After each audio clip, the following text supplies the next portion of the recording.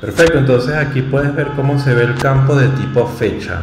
Si haces clic aquí, tienes que hacer clic aquí en el icono y te muestra este, este, este componente. O puedes escribir aquí directamente, ¿verdad? Y otra forma es poniéndole al date picker, poniéndole native false. Entonces, de esa manera es ahora otro tipo de componente, ¿ves? Ya no puedes escribir directamente, sino que tienes que seleccionar tú mismo aquí la fecha. Y bueno, eso ya lo puedes cambiar tú aquí viendo cómo lo quieres y tal. Genial.